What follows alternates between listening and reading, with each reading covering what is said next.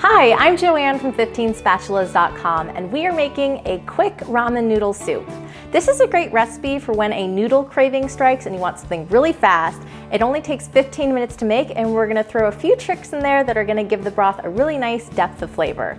So the first thing we're gonna do is start with our aromatics. I've got a soup pot here, I'm gonna heat this over medium. I'm gonna add a tablespoon of a neutral oil, like grapeseed, canola, vegetable, and so on. We're gonna add some scallions that I already sliced. This is four scallions, or about three quarters of a cup. I'm gonna do a half teaspoon of grated ginger. You really wanna be careful with ginger. It's powerful stuff, so just a little bit. You don't really want to know it's there. And then about a tablespoon of minced garlic. And then this is optional, but I like just a little bit of chili sauce or sriracha down in the bottom of the pan, just to give it a little bit of spiciness. We're gonna stir this all together and cook this for just like two minutes to wake up those flavors and aromatics. The scallions have softened a little bit and it smells amazing. So now we're going to add our broth to this. I have two kinds. I have beef and chicken, and I'm gonna add about three cups of each. And one of these is salted and one is unsalted. We're gonna add some fish sauce and soy sauce to this, which they have lots of salt, so that's why I'm doing one of each.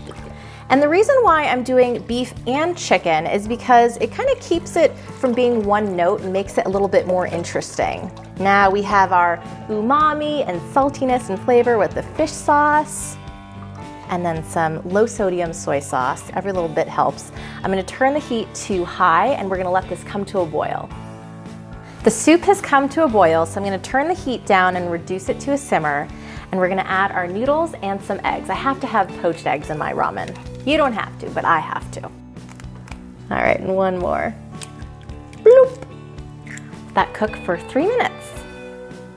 Beautiful. I love noodles. Should be done, but gotta figure it out for yourself. It's a little al dente a little bit longer. This looks about done, so I'm gonna turn the heat off. And I like to use tongs first to get the noodles into the bowl. Eee. Okay. Ramen is just, this is just how it is. It's kind of a mess and it's wonderful. I need more noodles, two helpings for me. All right, and then you can take a ladle and get that broth on there.